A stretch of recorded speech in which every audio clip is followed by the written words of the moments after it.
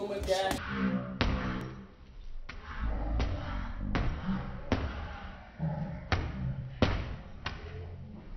I know, right? Just he's saying harder.